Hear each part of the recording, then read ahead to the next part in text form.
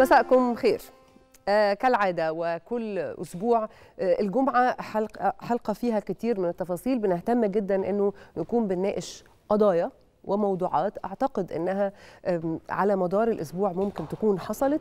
النهارده يمكن أقدر أقول هبدأ من النهاية زي ما اتكلمت مع زمايلي. عندنا الموضوع الرئيس هو فكرة سوق السيارات بكل الاسئله اللي بتدور في بال الناس. حالة الجمود والركود اللي حاصلة بقى لها وقت طويل جدا بسبب عدم استقرار سعر الدولار والبدائل المطروحة في السيارات الكهربائية.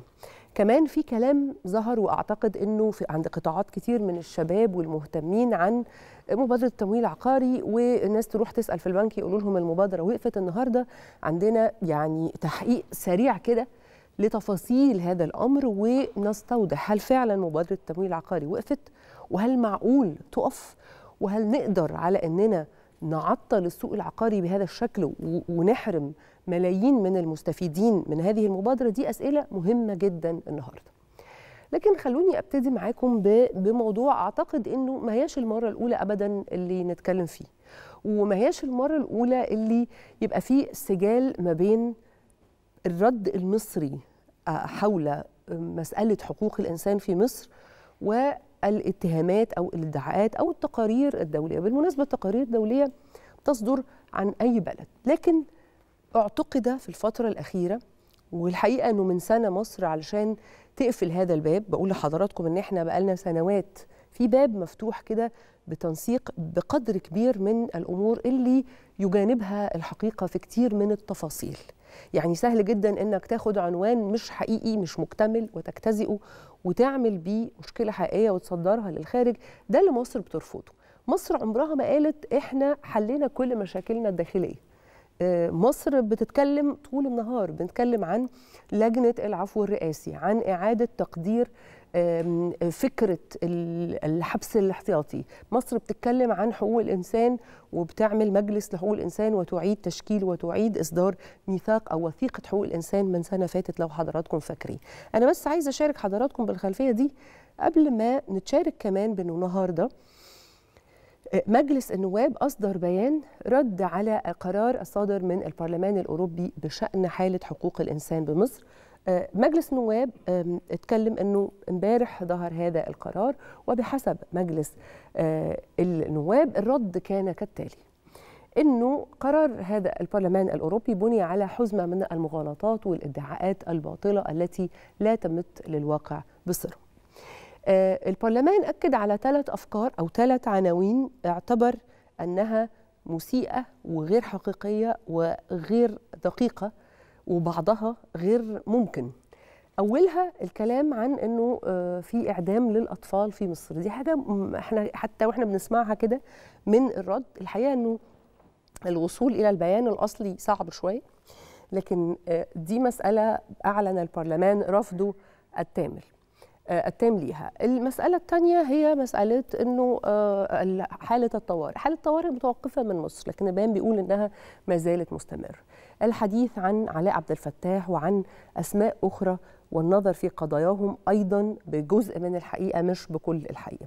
إحنا معانا على تليفون سيادة النائب طارق رضوان عضو رئيس لجنة حقوق الإنسان بالبرلمان المصري واللي ببساطة ممكن يلخص لنا هو بيان كبير هام وبيرد على أو بيفند كل ادعاءات البرلمان الأوروبي. أستاذ طارق رضوان ممكن يشرح لنا السؤال اللي محيرني أنا شخصيا. هل هو يعني ترتيب ممنهج ومحاولة ممنهجة للنيل من مصر تحديدا ولا هي جهود بتتحرك في هذا الاتجاه فبتحرك الرأي العام العالمي وتحديدا البرلمان الأوروبي كل مرة في هذا الاتجاه. مساء الخير أولا دكتور طارق. مساء الخير يا دكتور حضرتك؟ سياده النائب اولا خلفية هذا البيان ليه مجلس النواب اهتم جدا إنه يرد على هذه النقاط وكيف قرأتم قرار البرلمان الأوروبي؟ رد مجلس النواب اليوم على البيان الصادر من قبل الاتحاد الأوروبي برلمان الاتحاد الأوروبي مساء أمس أو يعني ظهر أمس. ما هو إلا نتاج لمحاولات البرلمان الاتحاد الأوروبي في الاستمرار في سلسلة المغالطات والأكاذيب والإدعاءات المخالفة للحقيقة والتي لا تمت بصلة مباشرة أو غير مباشرة لأوضاع حقوق الإنسان في مصر. زي ما حضرتك تفضلتي في معرض حديث حضرتك في الأول أن مصر لديها تحديات ولكن الاستمرار في تقليل ما قدمته مصر من إنجازات في ملف حقوق الإنسان بشكل واضح وصريح أصبح غير مقبول. فإذا كنا نتحدث عن أوضاع حقوق الإنسان خلينا نرجع 10 15 سنة ورا ونقارن أوضاع حقوق الإنسان في مصر وما حدث الآن من تنمية في ملف حقوق الإنسان. لو بنتكلم على أوضاع حقوق الإنسان أوضاع حقوق الإنسان لا تتجزأ. يعني ما ينفعش أتكلم على الحقوق السياسية وأغض البصر عن الحقوق الاجتماعية والاجتماعية والثقافية والتعليمية والصحية والامور التي تمس المواطن المصري بشكل مباشر. استمرار برلمان تحديدا برلمان الاتحاد الأوروبي في تصدير قوالب بغض على عن مجريات الأمور الاقتصادية والسياسية والاجتماعية في الدول ما هو ما ينم على جهل. هو أنا كمان سيادة النائب ده سؤالي تحديدا. أنا كمان يعني رجعت كده أقرأ شوية عن الموضوع. لقيت إنه تقريبا بشكل سنوي يصدر بيان بهذا السياق وتختلف التفاصيل. رغم إنه مثلا سيادتك وفي لجنة من البرلمان كنتم في البرلمان الأوروبي قدمتم شرح البرلمان الأوروبي ووفد البرلمان الأوروبي زار مصر. قول لي حضرتك إزاي شايف هذا التكرار وهذا الإصرار رغم كتير من التوضيحات؟ يعني إذا افترضنا جدلا أنصاف حقائق بتصل إليهم بأشكال مختلفة طب ما إحنا بنقدم الحقائق لا هي مش انصاف حقائق هي أجندات ممنهجة آه. يعني زي ما حضرتك قلتي دلوقتي يعني ما كان عندنا في أبريل الماضي تحديدا في 13 أبريل 2022 م. كان السيد إيمون جيلمور وهو مبعوث الامم المتحدة الاتحاد الأوروبي عفوا آه لمصر آه قام بزيارة التقى في خلالها آه وزراء آه تنفيذيين وكذلك أتى إلى البرلمان واستقبلته في لجنة حقوق الإنسان في مجلس النواب وكذلك أيضا زميلي النائب محمد هيبه عضو مجلس الشيوخ ورئيس لجنة حقوق الإنسان في مجلس الشيوخ استقبله واستتبع هذا أيضا عدة لقاءات مع المجالس القومية المختلفة سواء كان المجلس القومي لحقوق الإنسان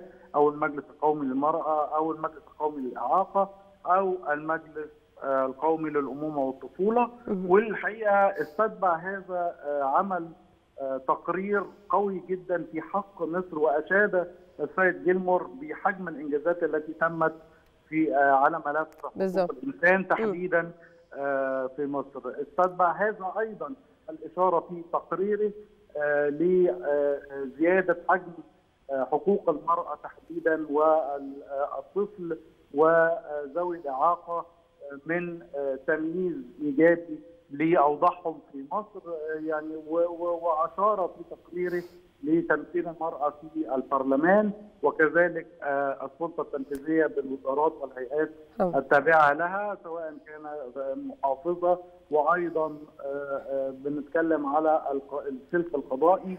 أيضا أيضا سيادة النائب حضرتك كمان في بيان مجلس النواب النهارده أو في رد مجلس النواب النهارده كان في نقطة مهمة جدا إنه بيان الاتحاد الأوروبي أغفل كل جهود اللي حصلت في كوب 27 أغفل مشاركات الشباب في الحياة السياسية والاجتماعية هل حضرتك شايف إنه بناء على كل المحاولات اللي كانت بتحصل في كوب 27 لتشويه صورة مصر قد يكون هذا البيان استمرارا لهذا؟ هو ده مش استمرار ده هو النهج أو م. يعني الخطة الموضوعة أو الاستراتيجية الموضوعة لمحاوله الضغط على مصر في الملفات التي تمس حقوق الإنسان. فإذا كنا نتحدث عن هذا لماذا تم إغفال أو غض البصر عن الاستراتيجية الوطنية لحقوق الإنسان التي أطلقها السيد الرئيس الرئيس في سبتمبر الماضي آه وما استتبعه من التزام من قبل السلطة التنفيذية بضمانة من السيد الرئيس وأيضا دور المجلس النواب في الرقابة على أداء السلطة التنفيذية والضامن الحقيقي للمواطن ومنظمات المجتمع المدني بشكل خاص على تنفيذ ما جاء في طيات الاستراتيجية الوطنية من تشريعات أو التزامات تنفيذية من قبل السلطة التنفيذية. أيضا لماذا اغفل الغرب أو برلمان الاتحاد الأوروبي تحديدا إعادة تفعيل لجنة العفو الرئاسي والتي استتبعها صدور قرار السيد الرئيس أو قرارات السيد الرئيس بالعفو عن ما يقرب من 1200 سواء سجين حصل على أحكام نهائية أو مساجين أو محبوسين احتياطيا على ذمة قضايا تتعلق بالرأي. طيب عندي سؤال. آه. البرلمان الأوروبي استحداث مصر للحوار الوطني وتقسيمه لسماع الرأي والرأي الآخر من الأغلبية ومن المعارضة ومحاولة انصهار هذه الآراء في إطار توصيات يتمخض عنها تشريعات في المؤسسة التشريعية المتمثلة في مجلس النواب كنتاج للحوار الوطني. لماذا الاخفال ومحاولة شخصنه قضايا حقوق الإنسان بأشخاص صدرت في شأنهم أحكام قضائية ولا شأن السلطة التشريعية أو السلطة التنفيذية في التدخل أو تضارب السلطات ما بين السلطة السلطة القضائية والسلطات المختلفة. أنا كمان يا سيادة النائب عاوزة آخد مثل من الإدعاءات اللي المجلس رد عليها النهارده هو إدعاء مرعب بالحقيقة فكرة إعدام الأطفال. تفنيد هذا الأمر أعتقد إنه أمر ما فيش أسهل منه. أفهم جدا إنه في فرق إنه في بعض الدول عندها الإعدام كله بشكل قطعي ومن ضمنها أوروبا طبعا إنه يعتبر من الأمور الممنوعة. لكن فكرة إنه يتهمك بتهمة زي دي إزاي نقدر نرد؟ وأنا عارفة إنه البيان كمان رد عليها بشكل حاسم جدا. أعتقد أن يعني لن أجد أكثر من الآية الكريمة إذا جاءكم فاسق بنبأ فتبينوا. هم يرفضون الاستبيان أو استبيان الحقائق الخاصة بهذا. الرافض الرئيسي لاستبيان هذه المعلومات كبرلمانيين هو البرلمان المصري المنتخب من قبل المجتمع المصري. لماذا لا يتحدثون معنا ويفتحون لنا المنابر كما يفتحون للطيارات الممنهجة أو الموجهة ضدنا. هو ده سؤال. ده سؤال ده سؤال أعتقد ممكن يكون فيه إجابة على كتير من المغالطات. أخيرا سيادة النائب أنا بعتذر إنه أطلنا عليك بس أخيرا إيه اللي ممكن يترتب على هذا البيان؟ أو إيه الآثار ولا أي شيء. لأن هذه تصدر فقط للشو الإعلامي وهي ليست ملزمة. كبيانات أو توصيات جاءت في طيات هذا البيان للدول المعنية أو الدول الأعضاء في الاتحاد الأوروبي. أؤكد مرة أخرى بصفتي نائبا عن الشعب ورئيسا للجنة حقوق الإنسان أن منبر البرلمان المصري منفتح على الجميع. نستمع للرأي والرأي الآخر. مستعدين للتحاور مستعدين لتقبل النقد ولكن النقد البناء. المرسل من الصديق والداعم وليس بلغة الاستعلاء التي جاءت في طيات هذا البيان. بشكرك. شكرا جزيلا. سيادة النائب طارق رضوان رئيس لجنة حقوق الإنسان بمجلس النواب. وأعتقد إنه هذا رد مهم جدا الذين يعتبرون إن نصرة المجتمع الدولي وإنك تقدم صورة مغلوطة عن بلدك المجتمع الدولي هو نصره ليهم. زي ما سياده النائب قال هذه بيانات لا قيمة لها إذا كان إذا كنا بنقيس بحجم البيانات. مرة تانية مشاكل الأوطان الداخلية تحل داخل الأوطان مهما كانت التفاصيل والحقيقة أنه في هذا السياق تحديدا التفاصيل في صالح الحقيقة يعني اللي بتقول لك أنه ده كلام مش حقيقي جملة وتفصيلا. آه خلونا نروح بقى من عالم البيانات المتبادلة إلى عالم البهجة المطلقة وكرة القدم للمهتمين والغير المهتمين هي واحدة من أدوات البهجة وأدوات نقدر نقول إدارة الروح المعنوية في العالم. النهارده كان اليوم الأول من الجولة الثانية لمباريات كأس العالم في قطر. والنهارده كان في أربع مباريات. طبعا كان في متابعة شديدة من المصريين لمباراة السنغال أمام قطر وكان في خسارة لقطر بثلاث أهداف مقابل هدف. قطر أول منتخب رسميا كده بيغادر المونديال. آه كمان النهارده إيران فازت على ويلز بهدفين دون مقابل وده برضو أداء كان فيه يعني مونديال كله مفاجآت. آه أداء إيران في المباراة الأولى عكس هذا الأداء تماما. هولندا النهارده تعادلت مع الإكوادور بهدف لكل منهم. وحاليا دلوقتي وإحنا بنتكلم إنجلترا وأمريكا آه بي بيلاقوا بعض ولحد دلوقتي التعادل السلبي. تفاصيل عن أجواء كأس العالم في قطر بينضم إلينا من الدوحه محمود شاكر مراسل التلفزيون المصري. مساء الخير أستاذ محمود. مساء الخير عليك يا دينا ومساء الخير على جميع مشاهدي التلفزيون المصري في كل مكان من هنا من العاصمة القطرية الدوحه تحديدا من أمام استاد خليفة اللي كان بيحتضن مباراة السنغال وهولندا عفوا هولندا النهارده والاكوادور في مباراة كانت قوية جدا جدا واللي انتهت بالتعادل واحد واحد. خليني زي ما عايز اخد من كلامك يا دينا إن فعلا البهجة والفرحة وكل حاجة في كرة القدم طبعا بتضفي نكهة معينة على الجماهير في كل العالم ومتابعتها في كأس عالم رائع جدا. بتقدمه قطر لحد النهارده بالرغم من الأداء السيء جدا جدا لمنتخب قطر اللي تلقى هزيمته الثانية النهارده وللأسف ودع البطولة عشان بيحقق رقم قياسي وهو أول منتخب صاحب أرض يعني يستضيف البطولة ويطلع من البطولة في نفس الوقت. زيه زي المنتخب الجنوب أفريقي في 2010 هم المنتخبين الوحيدين اللي استضافوا البطولة وطلعوا من الدور الأول. خليني أبتدي لك النهارده. كان يوم حافل جدا بالمباريات ولسه في مباراة شغالة دلوقتي بين أمريكا وإنجلترا. المباراة الأولانية النهارده كانت الساعة 1 ظهرا بتوقيت الدوحه كانت مباراة ما بين إيران اللي كانت مفروض جريحة بعد هزيمتها الثقيله جدا جدا 6 2 أمام المنتخب الإنجليزي في الجولة الأولى. ولكن كارلوس كيروش مدرب منتخب مصر السابق اللي كلنا طبعا على دراية كبيرة بيه بعد الهزيمة الكبيرة كل توقع ان الفريق يفك وإن الفريق خلاص إيران هتخرج من البطولة بسهولة ولكن النهارده بيعملوا مباراة رائعة رائعة جدا وبيقدروا يكسبوا في plus 90 بعد الدقيقة 90 في الوقت بدل الضايع 2-0 عشان إيران تحصد أول ثلاث نقاط ليها في المجموعة وتشعل المجموعة بشكل كبير جدا. عاوز أقول لك إن الجولة الثالثه الأخيرة كل المنتخبات كده عندها أمل في التأهل للدور الثاني فالمجموعة اشتعلت كارلوس كيروش اللي واجه انتقادات كبيرة جدا في إيران بسبب ضمه عناصر معينة وكانوا الاتحاد الإيراني عاوز يرغم عليه ما يضمش اللعيبة دي ولكن اللعيبة دي ضمها وهي قدرت النهارده اللي تحرز له الأهداف وقدرت النهارده إن هي تحرز له الثلاث نقاط. عاوزين نخش على المباراه الثانية اللي كانت للأسف يعني حزينة جدا لجميع الجماهير العربية وهي منتخب قطر قطر هزيمة كبيرة أمام المنتخب آه ودي عايزه أسألك عليها محمود. عايزه أسألك مش بس عن هزيمة منتخب قطر لكن عن المشجعين. يعني بالتأكيد هي كورة وهو أداء واستعداد لكن أخبار المشجعين إيه؟ الحماس بقى في الملعب كان مهم جدا إنه فعلا الفريق المضيف يكمل شوية يعني. أكيد. المفروض المفروض ده اللي كان يحصل. عاوز أقول لك دي أصلا من قبل مباريات البطولة دي وكان جميع الروابط هنا الروابط العربية كانت اللي هي ابتدى أنشئت بقى في كأس العرب اللي كان معمول في قطر من حوالي سبع أو ثمان شهور. دايما كل الروابط دي بيجمعوا بعض.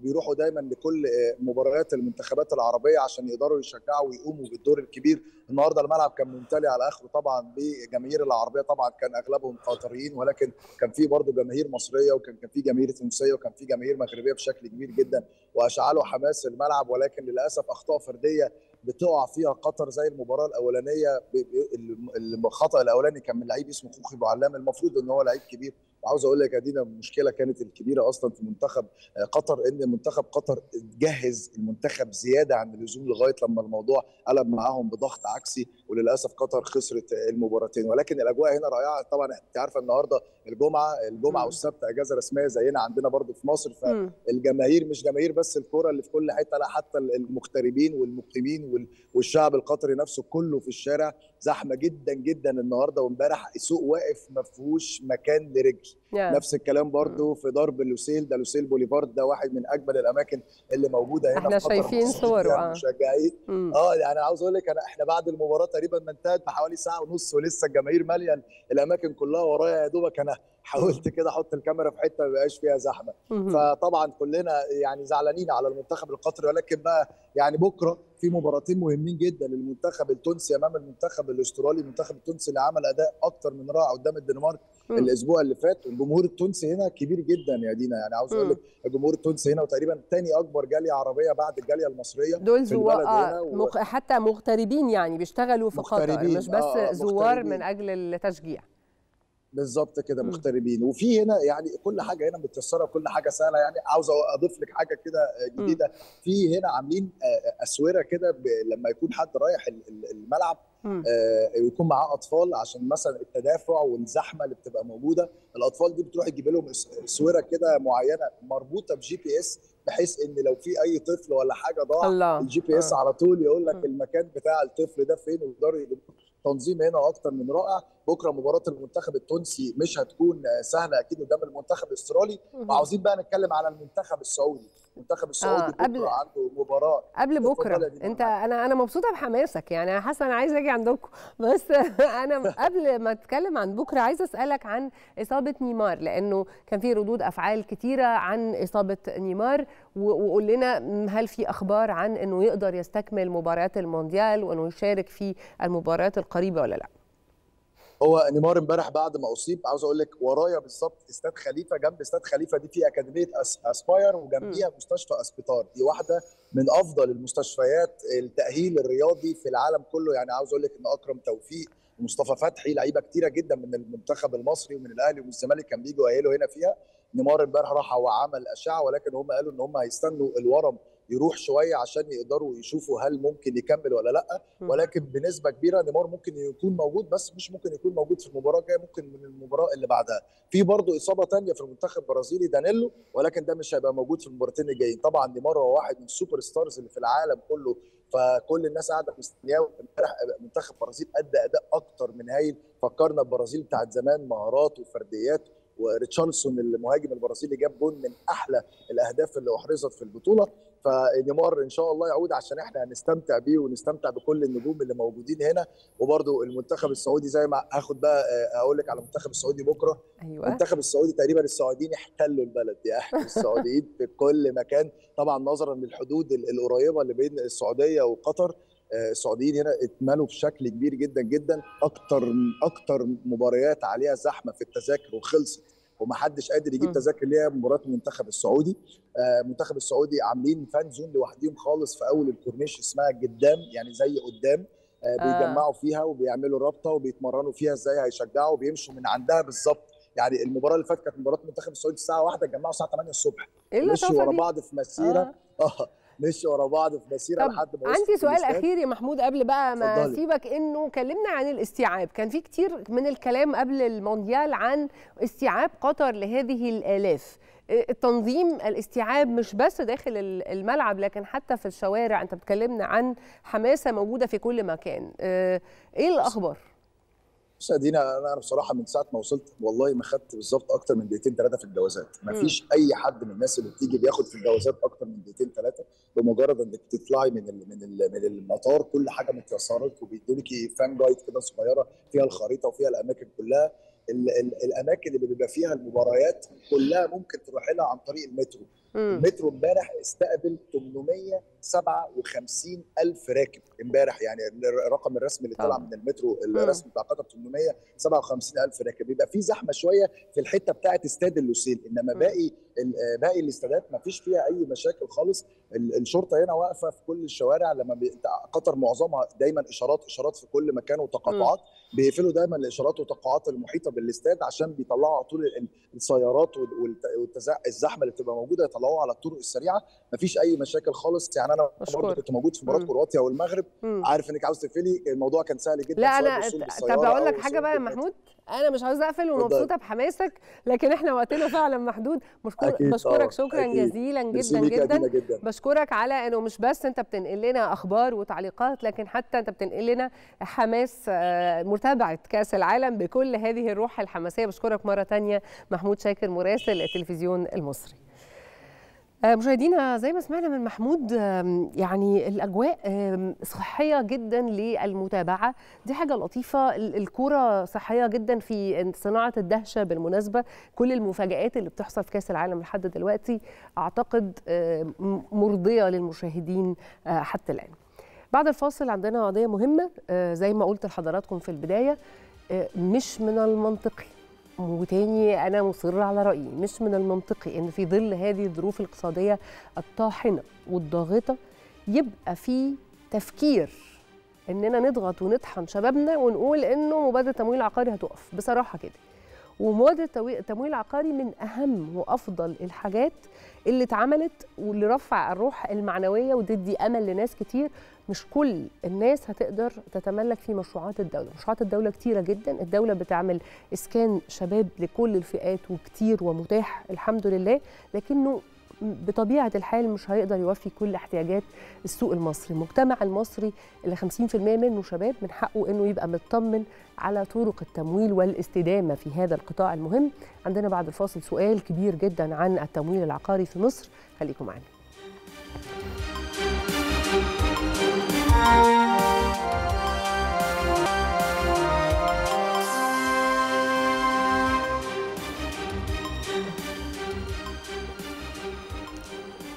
مساءكم خير. معرفش كل الناس يعني متابعين ومركزين وعارفين إيه اللي بيحصل في السوق العقاري لكن أقدر أزعم وأنا واثقة جدا إنه 60 70% من الناس معنيين بالسوق العقاري جدا كجزء من حياتهم اليومية. سواء أنت عندك عقار وعايز تعرف مستقبله الاستثماري إيه. سواء أنت شخص عايز تستفيد وتستثمر في العقار وعايز تفكر في استثمار آمن. أو ودول القطاع اللي يهمني بصراحة النهارده أنت شخص في بداية حياتك وعايز تشتري شقة. وبالمناسبة حق السكن ده واحد من حقوق الإنسان. وإحنا فاهمين ده وقادرين نعرف خطوره وأهمية الإتاحة تحديدا في القطاع العقاري. ما نقدرش ابدا نقول إن مصر عندها أزمة إسكان لا. مصر فيها طبعا أراضي كتير جدا تعمير وتطوير عقاري بشكل واسع جدا ومتسع فما نقدرش نقول إننا عندنا أزمة إسكان. لكن كمان ما ينفعش نخبي راسنا في الرمل ونقول أننا عندنا قدرة شرائية تحديدا لهذا القطاع. أنا بقول لحضراتكم دلوقتي إحنا دلوقتي بنسأل على قطاع الشباب. إزاي شاب في بداية حياته مرتبه؟ طبعا لو قلت أقل من 10000 جنيه الناس اللي مرتبها أقل بكتير من كده هيتخضوا هيزعلوا هيقولوا إنتوا مش مش حاسين بالناس. لكن خليني أقول مرتبه أقل من 10000 جنيه يقدر يبقى عنده شقة يتجوز يعيش حياة طبيعية. أنا بتكلم مش بس على القطاع ده لكن على كل القطاعات. كان للناس دي كلها في حلين. الحل الأول هو إن الدولة تتدخل والدولة تدخلت من سنوات طويلة وإحنا النهارده بنحصد ثمار هذا التدخل. في الإتاحة في مشروعات قومية كبرى سكن مصر دار مصر وإسكان اللي يخص الاسكان الاقتصادي للشباب بكل فئاته وأنواعه اللي موجود في كل مكان في مصر. ده جزء مهم جدا من التدخل. لكن يبقى إنه مستحيل إننا نقول هنلقي على الدولة كل هذه المسؤولية لوحدها. ومن هنا يجي دور التمويل العقاري وأهمية التمويل العقاري لقطاعات الشباب وإننا نحافظ عليه. طب وقت الأزمة الاقتصادية إيه اللي ممكن يحصل؟ هل البنك المركزي هيتحمل وحده التمويل العقاري ولا هتبقى هتقسم هذه على مؤسسات مختلفة وكل مؤسسة هتتحمل مسؤولية الجزء اللي يخصها من الدعم لقطاعات التمويل بكل أشكالها. والسؤال تحديدا دور القطاع الخاص في ده. يعني القطاع الخاص بتكلم هنا عن المطورين العقاري. المطور العقاري من مصلحته هو كمان هو جزء من هذه المنظومة فمن مصلحته أنه لما يطرح مشروع المشروع ده يعني يخلص يتباع. من مصلحته إنه يكون التمويل العقاري موجود. وإحنا ياما اتكلمنا وياما حضراتكم سمعتوا إنه الحل الأهم لأزمة ارتفاع سعر العقارات اللي ما نقدرش نحلها دلوقتي لأننا في أزمة دولية هو التمويل العقاري. دور القطاع الخاص إيه؟ خلونا نعرف بقى التفصيلة دي بقى من أهل الاختصاص. وقبلا نبارك لدكتور أحمد شلبي على رئاسة المجلس العقاري المصري معانا على تليفون وشرفنا دكتور أحمد شلبي. مساء الخير على حضرتك يا دكتور. مساء الخير يا دكتورة دينا وشكرا على التهنئة الجميلة دي. شكرا لحضرتك. أنا بهني حضرتك وبهني أعضاء المكتب التنفيذي. أنا عارفة أنه في توليفة شبابية كده للمجلس العقاري المصري تخلينا نتعشم فيكم خير ونسألكم بقى في تفاصيل كتير. إن شاء الله إن شاء الله وإحنا تحت أمر حضرتك.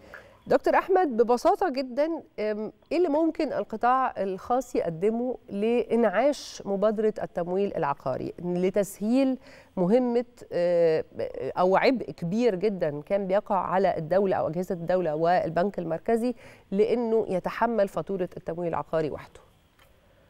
طيب لو سمحتي لي يعني إن أنا استفيض في الإجابة شوية لأهمية الموضوع. ده هو مهم جدا آه. وإحنا محتاجين نفهم جدا. اتفضل يا دكتور. بالظبط كده. عايز أبتدي من الكلمة اللي حضرتك قلتيها قبل الفاصل اللي هي إنه طبعا مش من المنطقي في الظروف الحالية والأوضاع الحالية إن المبادرة الخاصة بالتمويل العقاري اللي هي مبادرة دعم الفايدة م. إنها تبقى في حدود ال 8% وفي فوائد أقل 3 أو 5 على ما أعتقد بشرائح معينة م. إنها تتوقف. م. ويمكن هنا عايز أضيف حاجة صغيرة بس إن أنا شايف إن المبادرات كلها سواء الخاصة بالتمويل العقاري أو المقاولات أو السياحة أو الصناعة كل القطاعات الاقتصادية التوقيت غير مناسب لتوقفها. ولكن لازم نوضح هنا نقطة وده فهمي للموضوع. هو القرار خاص بالبنك المركزي ودعم البنك المركزي للفايدة. ده طبعا بناء على طلبات صندوق النقد. إنما ده لا يعني إن الحكومة لن تدعم الفايدة. فأنا اللي فهمته من القرار إن اللي هيحل محل البنك المركزي في دعم الفايدة هو الحكومة من خلال الوزارات المختلفة المسؤولة يعني إحنا مثلا تابعين لوزارة الإسكان يبقى التمويل العقاري وقطاع المقاولات وزارة الإسكان هي اللي هتدعم الفايدة بتاعته بالتعاون طبعا مع وزارة المالية. م. وده المفهوم اللي عندي يمكن اللي عمل لخبطة شوية م. إن قرار الوقف طلع دون تحديد آليات البدايل. بالظبط. فعمل يعني بلبلة شوية في القطاع الخاص إن ما بقاش فعلا حد عارف م. طب البديل هيتطبق إزاي والتعامل هيبقى إزاي والدنيا هتمشي إزاي. يمكن دي الجزئية اللي محتاجة توضيح من الدولة. حضرتك سألتي بقى سؤال مهم بقى اللي هو الخاص بدور القطاع الخاص. يمكن هنا عايز أقول لحضرتك إن في تواصل تام بين القطاع الخاص والدولة ويمكن دولة رئيس الوزراء ومعالي وزير الإسكان كانوا في اجتماع قريب معانا مجموعة من ممثلي القطاع الخاص في مجال العقارات ودي اجتماعات دورية بتحصل مع كل القطاعات ويمكن دي من الحاجات اللي القطاع الخاص بيشيد بيها دايما دلوقتي إن في تبادل وجهات نظر مستمر بين الحكومة والقطاع الخاص. آه الاجتماع ده ممثلي القطاع الخاص تقدموا فيه بعدة طلبات تخص التمويل العقاري. وتحديدا هلخصهم في ثلاث محاور رئيسيين جدا. المحور الأولاني هو فلسفة التمويل العقاري مع البنوك الخاصة بالإجراءات. يمكن أيوة. أحد مشاكل التمويل العقاري م. إن الإجراءات بتطول جدا م. زائد إن عدد كبير من الطلبات بتترفض. آه ده حقيقي. ف... وعايزة أقول لحضرتك أنا بقى جاية من من عند الشباب وبقول لحضرتك وده بيأثر جدا على صورة المبادرات نفسها. يعني هي المبادرات مزبوط. أصلا لخدمة الناس ولخدمة قطاعات مهمة بالنسبة للدولة استراتيجيا لكن فعلا طول الإجراءات ويمكن أقول أنا هقول إنها تعقيدها يعني. ده كلام مظبوط تماما. ويمكن إحنا هنا طالبنا بإن الضمانة تبقى الوحدة مش العميل. سبب بطء الإجراءات وتأخر الإجراءات فحص ملف العميل. أيوة. فإحنا طالبنا إن يتم التعامل بضمانة الوحدة مش بضمانة العميل طبعا ده موضوع برضو محتاج شغل مع البنوك مش هيتم في يوم وليلة لأن هم اليوم إجراءاتهم واليوم ضوابطهم بس إحنا كقطاع خاص وكمطورين على استعداد لدراسة الكلام ده وتوفير البدايل بحيث الإجراءات تبقى سريعة. ممكن يا دكتور أوضح دي معلش قبل ما نروح للنقطة الثانية أنا آسفة إني بقطعك بس أنا عاوزة كل الناس تفهمنا.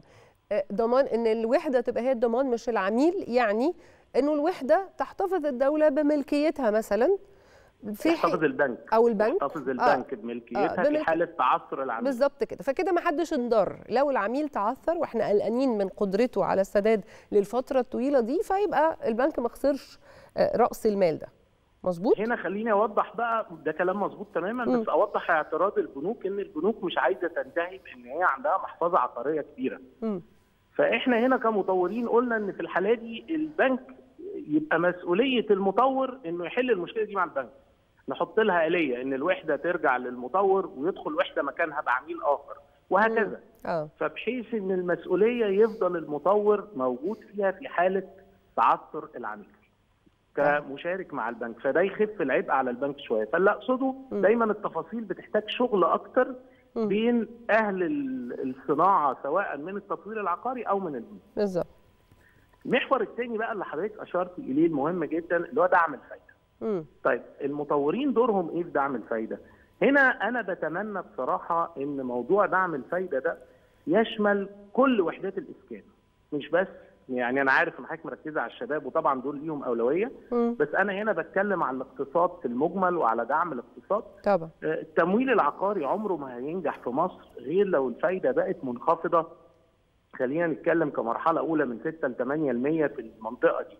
ده الحل الوحيد عشان التمويل العقاري ينشط والناس تتحمس للجوء اليه. فهنا لو هنتكلم على كل مستويات الإسكان لا إحنا محتاجين القطاع الخاص يبقى له دور. طبعا لأنه الدولة مش هتقدر آه، تبقى حاضر وتسد على هذا الطلب الهائل إذا فتحنا فعلا في قطاعات كبيرة. بالظبط كده. وهنا كان اقتراح المطورين إن يتعمل صندوق لدعم الفايدة يتم تمويله من شركات التطوير العقاري. فيبقى هنا الحكومة تحملت عبء الإسكان الاجتماعي وما يخص ال- الوحدات اللي الحكومة بتعملها وتحمل القطاع الخاص عبء الوحدات الأخرى. بحيث ننشط السوق ويبقى صندوق دعم الفايدة ده طبعا ده موضوع كبير طبعا ولازم يدرس بتفاصيله لأن بقى مين اللي هيشارك فيه والنسبة قد إيه وآلية الصرف إيه يعني قصة مم. طويلة بس الفكرة من حيث المبدأ لاقية قبول من جميع المطورين وهي فكرة. أعتقد إنها فيها جزء كده مسؤولية مجتمعية أنا ما أعرفش طبعا حضرتك صحح لي بس إنه المطور العقاري نفسه أو كل المطورين العقاريين في مصر يكونوا جزء من حل أزمة ارتفاع الأسعار أعتقد إنه حل فيه جزء من المنطقية يعني طبعا مم. جدا آه، مسؤولية مجتمعية وفي نفس الوقت فيها عائد اقتصادي. لأن ده هيؤدي في النهاية إلى آه، تنشيط ال- السوق العقاري وده هيعود بالفايدة على المطورين وعلى الاقتصاد المصري. حلو جدا حلو المحور الثالث بقى المهم جدا اللي بنتكلم فيه بقالنا سنين وهو آه، آلية التمويل العقاري للوحدات تحت الإنشاء. عارفة حضرتك التمويل العقاري أحد أهم شروطه إن الوحدة تكون مبنية ومتشطبة. أيوه وده للأسف ما بينطبقش على عدد كبير من مشروعات القطاع الخاص. طبعا فبينتهي الأمر إلى إن الوحدات المتاحة هي في الأغلب وحدات الدولة مم. أو بعض وحدات القطاع الخاص المتاحة في بعض المشروعات. اللي هي فضلت ما اتباعتش يعني ما هياش فضلت ما اتباعتش حاجة. مميزة مم. بالظبط عشان نوسع المبادرة دي فإحنا بنقول عايزين آلية للوحدات تحت الإنشاء ودي ممكن اقترحنا آلية برضو إنها تتم من خلال عقد ثلاثي في المطور وفي العميل وفي جهة التمويل العقاري. ويبقى المطور بياخد دفعات من جهة التمويل العقاري مع تطور الأعمال الإنشائية. والعميل بيسد على 15 سنة 20 سنة ونحط شرط إن الوحدات دي ما تاخدش تمويل آخر من البنك على طيب. أساس ما يحصلش double finance أو تمويل مزدوج. فالثلاث محاور دول إحنا اكدنا عليهم في اجتماعاتنا في اجتماعنا مع دولة رئيس الوزراء ومع معالي وزير الاسكان. واعتقد الفترة اللي جاية إحنا محتاجين نشتغل بجدية شديدة على ده آه. لأن خليني أقول لحضرتك بصراحة. السوق العقاري بيمر بمرحلة صعبة جدا بالتأكيد ارتفاع التكلفة. آه، بطريقة غير مسبوقة عدم تناسب ده مع القدرة الشرائية للعملاء هيعمل ضغط على السوق العقاري وهيعمل ضغط على الاقتصاد المصري. بالظبط. الحلول اللي قلناها دي هتساعد على تنشيط الاقتصاد المصري لأن القطاع العقاري بينشط الاقتصاد في المجمل.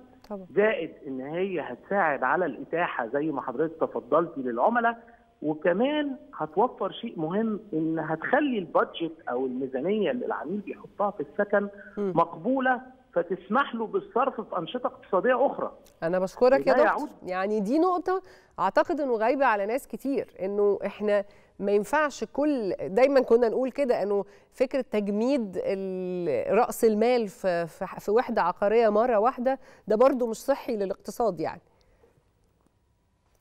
ألو؟ دكتور أحمد أعتقد إنه الخط فيه مشكلة بس يعني إحنا وصلنا مع دكتور أحمد محور أول.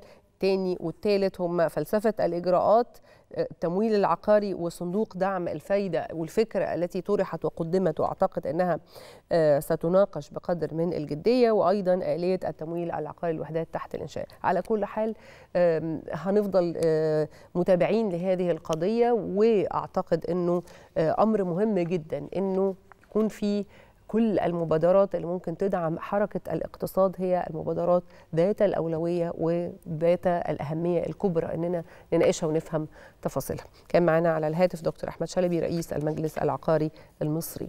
بعد الفاصل نكمل مع حضراتكم التاسعة.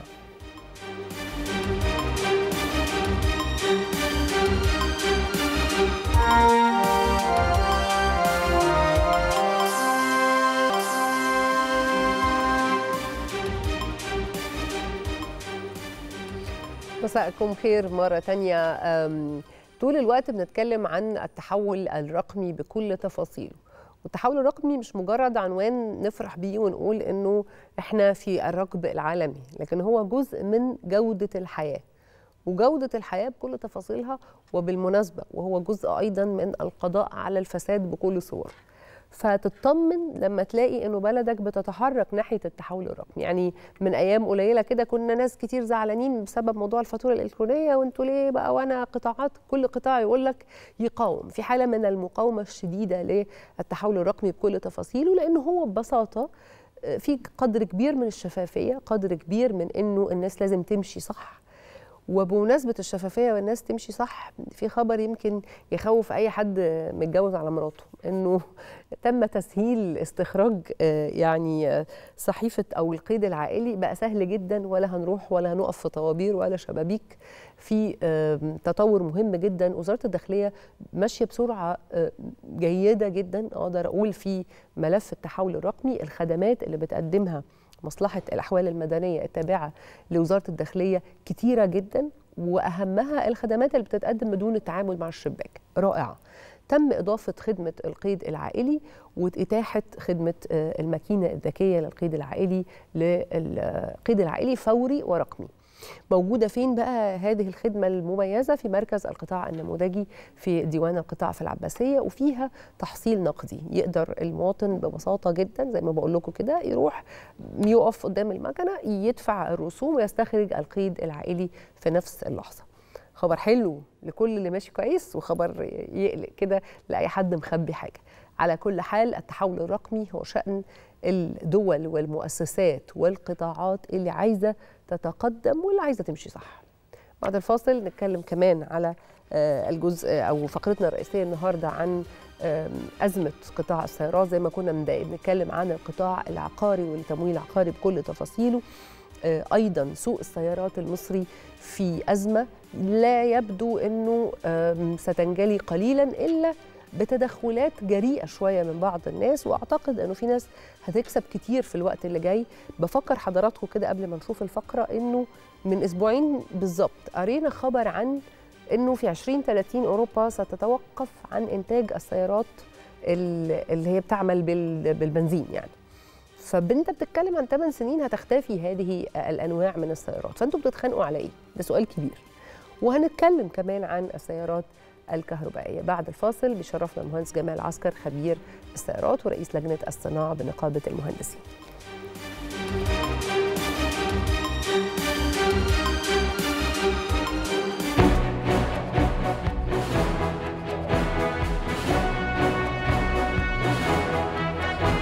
قطار الشباب بيتم على مرحلتين. الأول البنات بينزلوا معانا في مدينة الأقصر إقامة في المدينة الشبابية بتاعتنا في الأقصر. وبعد كده الشباب بيتوجهوا إلى أسوان. في برنامج سياحي ثري جدا في الأقصر. الهدف منه طبعا التعرف على كافة المعالم الأثرية وما يميز كل محافظة. طبعا بتتحط كأنها جوه كل قلب كل شاب لأنه جات له فرصة كبيرة إنه يتعرف على حضارة بلاده. وكمان الرحلة مدعمة بشكل كبير جدا من خلال وزارة الشباب والرياضة. عرفنا عن طريق دعوة وزارة الشباب والرياضة عن طريق صفحة الفيسبوك طبعا فتابعنا وطبعا ده شيء عظيم وحاجة حلوة لينا طبعا ولمصر. الفكرة حلوة جدا كسعر وكموضوع. أول تجربة ليا الصراحة أنا وإخواتي فيا رب تبقى على خير يعني إن شاء الله. آه بصراحه حاجة عظيمة جدا وحلوة و... وكمان مش غالية هي في متناول الشباب و... وأنا عرفتها عن طريق النت وقرايب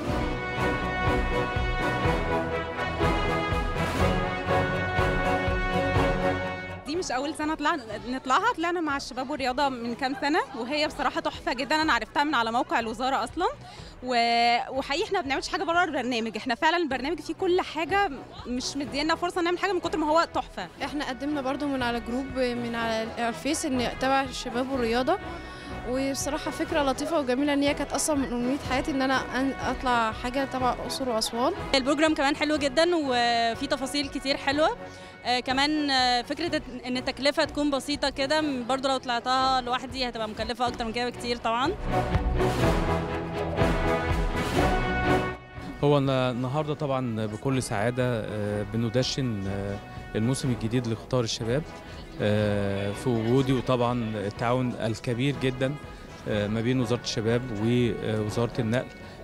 يعني معالي الوزير الحقيقة الفريق كامل مسهل كل حاجة.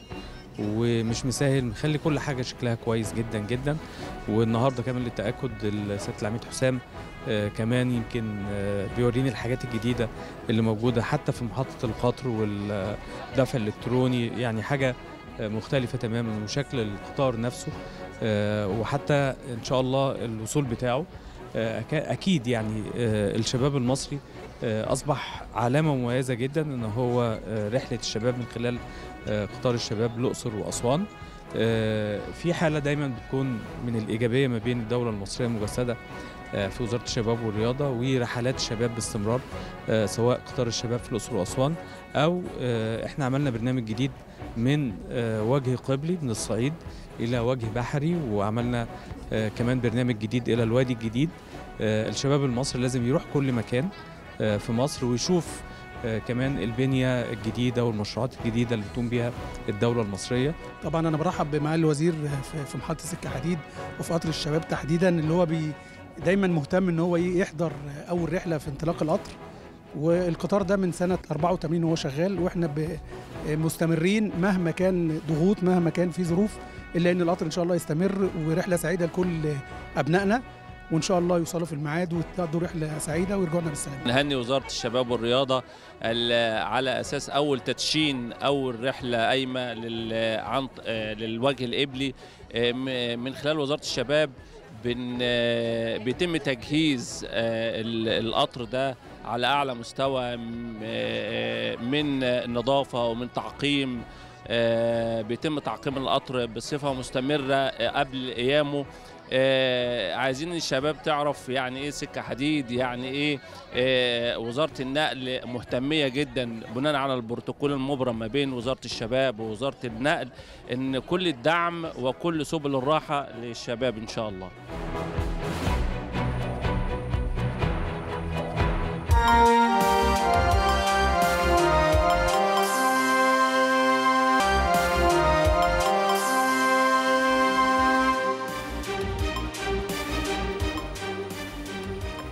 مرة تانية مساءكم خير. وزي ما بدأنا الحلقة وإحنا بنتكلم عن تحديات حقيقية حاصلة في كتير من القطاعات. من دقائق كنا بنتكلم حضراتكم عن القطاع العقاري قطاع السيارات والسيارات في مصر ليست رفاهية بالمناسبة.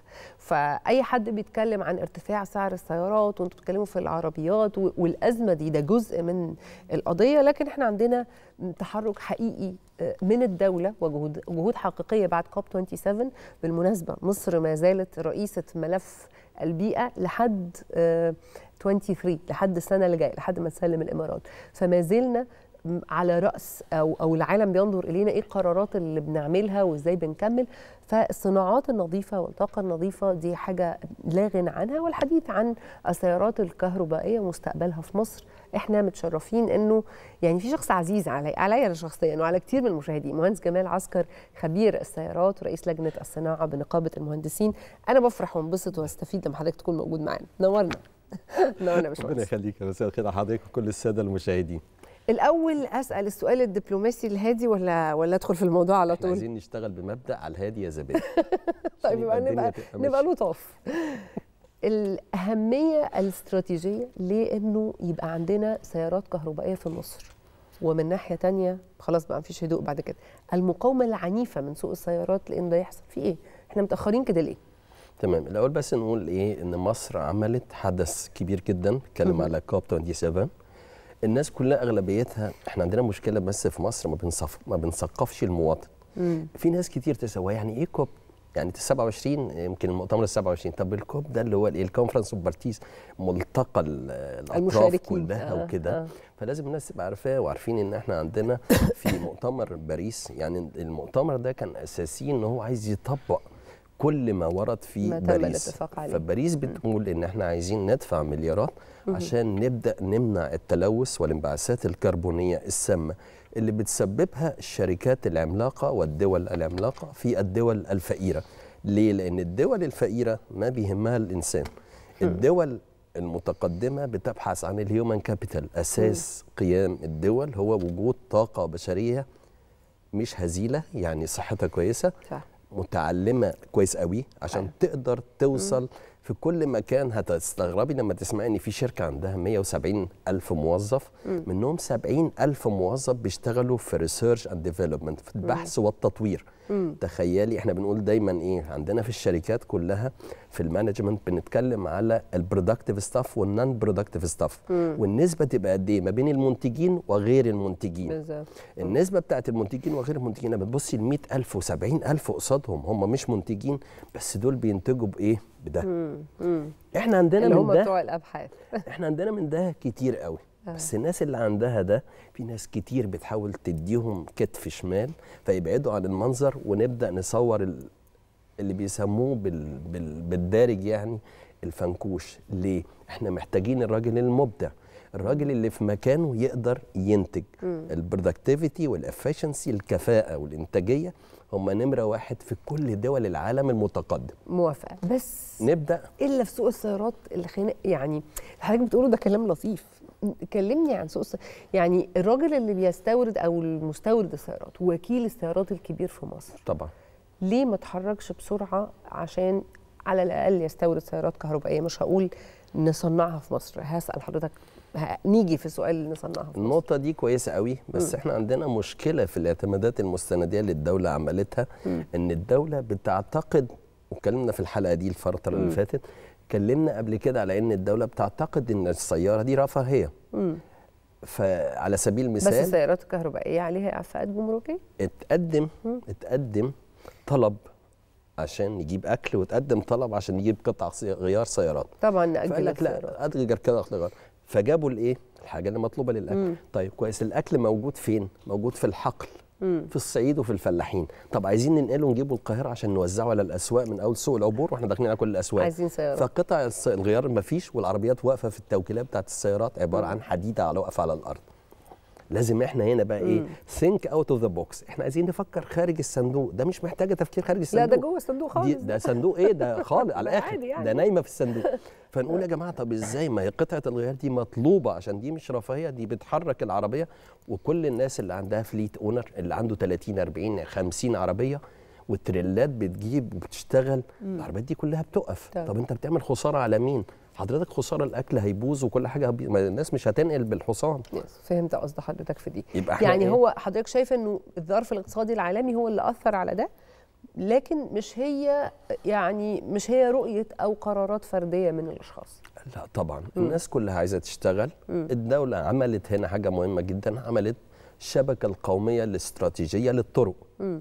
ففتحت لك طرق فتحت لك مدن وفتحت لك مناطق لوجستية كبيرة جدا بتشابه إلى حد ما المناطق اللوجستية اللي موجودة في جبل علي في الإمارات طيب نمرة اتنين بقى طرق ممتازة مدن جديدة اتفتحت مناطق لوجستية عندنا مواني خلاص نبدأ نشتغل مم. أنت عندك مشكلة النهارده أنت حجم صناعة سوق بقى.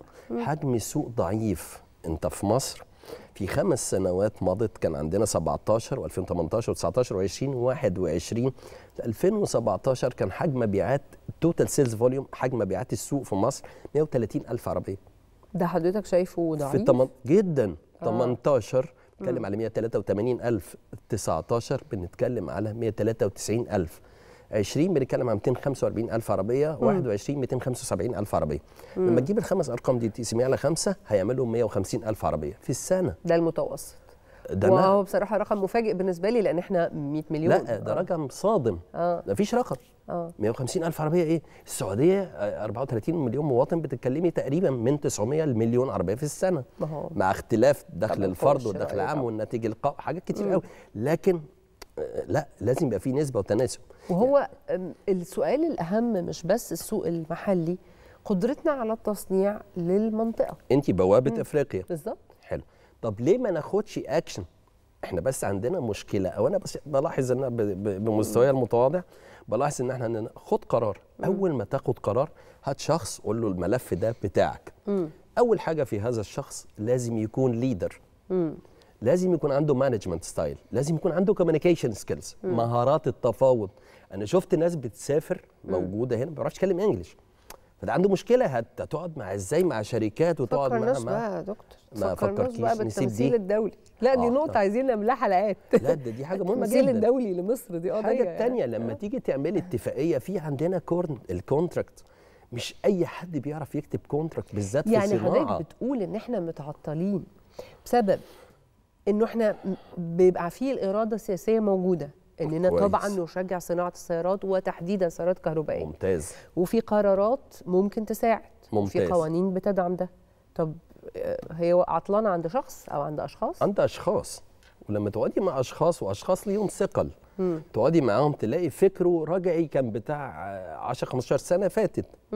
النهارده يا جماعة آه، إحنا داخلين على 23 فحجم السيارات النهارده كل الثلاث عربيات موجودين في العالم كهرباء منهم اتنين صناعة الصين وواحدة صناعة أي دولة تانية. لما تروحي الصين وأنا رحت الصين كتير مصانع بشكل ما تتخيلوهوش إحنا دايما لما كنا نقول إيه كل ما نروح دبي لو رحنا دبي كل يوم نلاقي في حاجة جديدة. مم. بس حاجة جديدة مش في الصناعة حاجة جديدة في السياحة. مثلا على سبيل المثال لكن تروحي الصين كل يوم في مصنع بيتعمل كل يوم حاجة جديدة. تتكلمي على ناس بتشتغل مثلا بتنتج في السنة من 16 ل 18 مليون عربية. أنا بعد الفاصل عايزه أرجع أسأل حضرتك على إيه اللي نجح التجربة المغربية مثلا في صناعة السيارات لا ده إحنا هنقعد فيها فاصل و... وأنا عارفة ناس كتير كمان عايزة تسمع إجابة السؤال ده. مهندس بعد الفاصل نرجع نكمل كلامنا مع المهندس جمال عسكر خبير السيارات ورئيس لجنة الصناعة ونقابه المهندسين.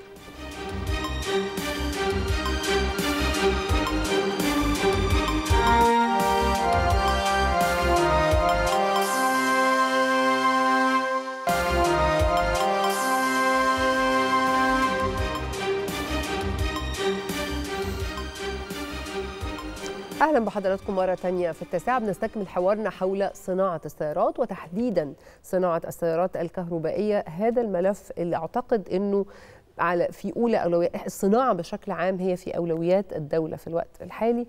نتكلم عن صناعة السيارات إحنا بنتكلم عن انتعاشه حقيقية للاقتصاد المصري للسوق المحلي للسوق الدولي وللمنطقة زي ما مهندس جمال كان بيكلم. قبل الفاصل كنا بنسأل حضرتك على واحدة من التجارب الناجحة جدا لإحدى الدول العربية وهي التجربة المغربية. إيه اللي عملوه وإيه قصة النجاح وكيف يمكن مش عايزة أقول تكرارها بس كمان البناء عليها في مصر؟ هسألك سؤال. مم. انت لو قلتي آه، حضرتك عارفة إيلون ماسك؟ مم. تسلا تسلا قالوا له في الصين تعالى وهندي لك أرض المتر ب 100 جنيه وشوف الأرض اللي أنت عايزها قال له لا 100 جنيه كتير طب لغاية بصوا لغاية لما ادوا الأرض ببلاش مم. طب كذا ما فيش ضرايب طب كذا ما فيش كذا طب ما فيش كذا. المهم جابوه قعد آه. سنتين مم. بعد سنتين خدوا التكنولوجيا كلها بتاعت التسلا عاملين النهارده عربيات مم. في الصين أحسن من التسلا اوبشن أعلى من التسلا بنص ثمن التسلا مم. مم.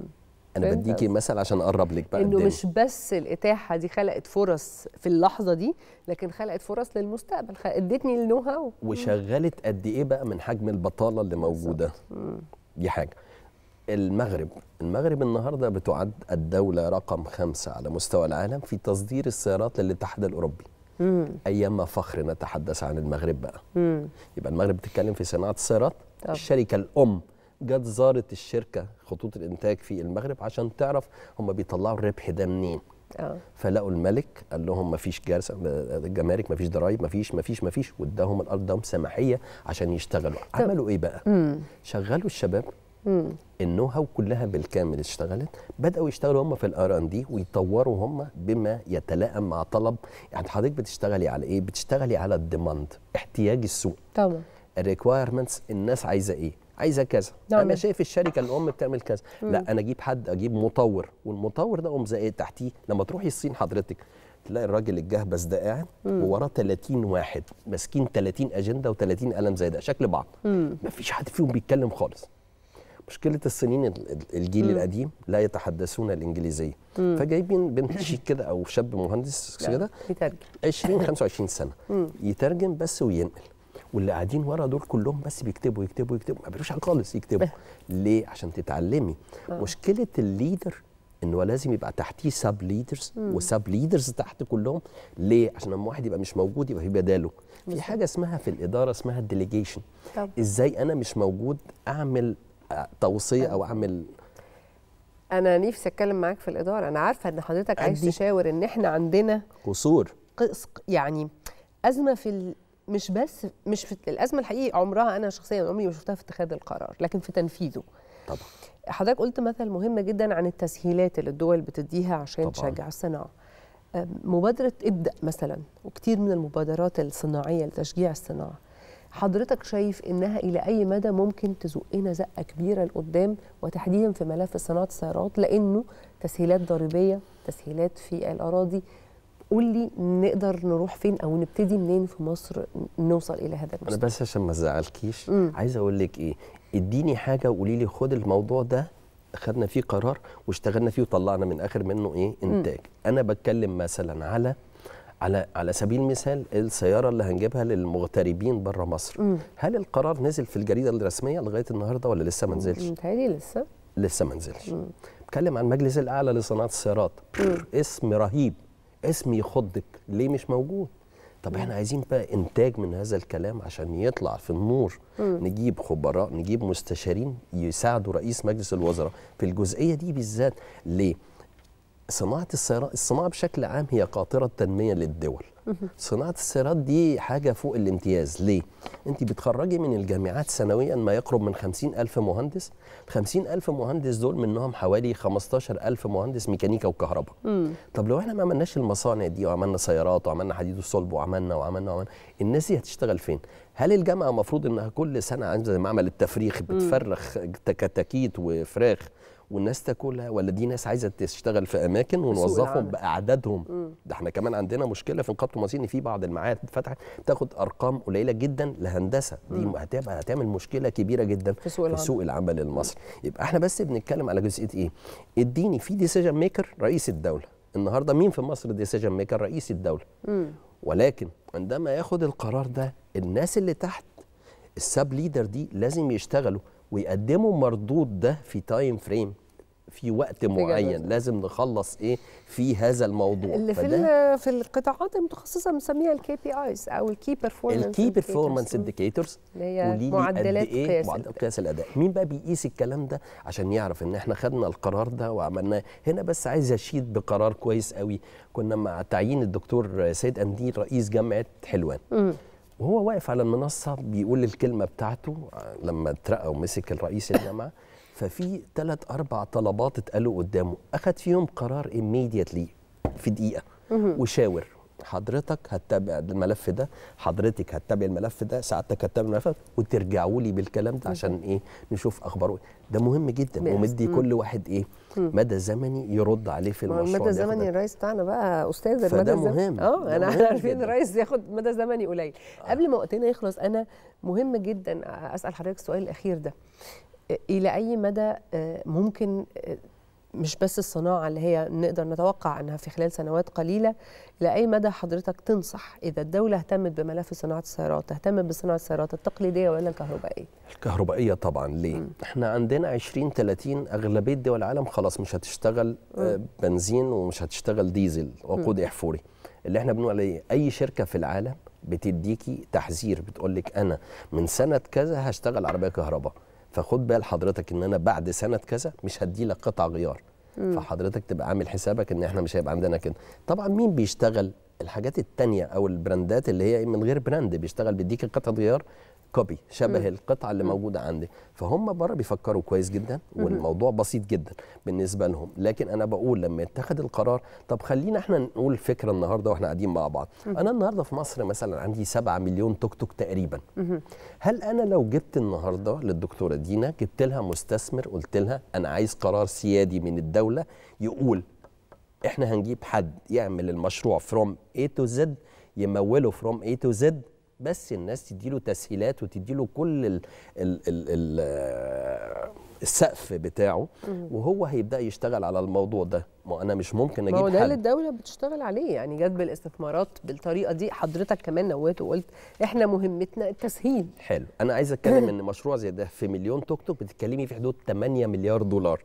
أنا لو أجيب لك الممول أبو 8 مليار أو ب 10 مليار ويشتغل يعمل لك العربيه مركبة كهربية خفيفة بديلة عن التوك توك. هتحميكي من التلوث تحميكي من الحوادث زي ما حضرتك فعلا قلت لي في الفاصل مش الحل إن أنا أقول إلغي التوك توك الحل إن أنا أقدم بديل. لازم. اليابان علمونا إزاي. تدي المشكلة ومعاها حل. شكرا. ونشوف الحل كويس ولا إيه. لو إحنا عايزين نعدل يعني نعدل عليه شوية عشان يظهر بالصورة المطلوبة طبقا للرؤية كلها.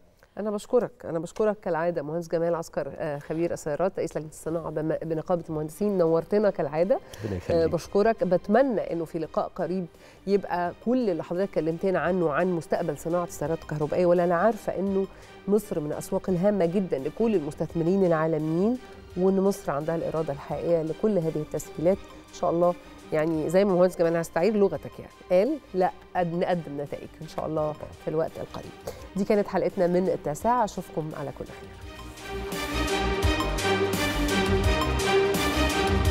Thank you.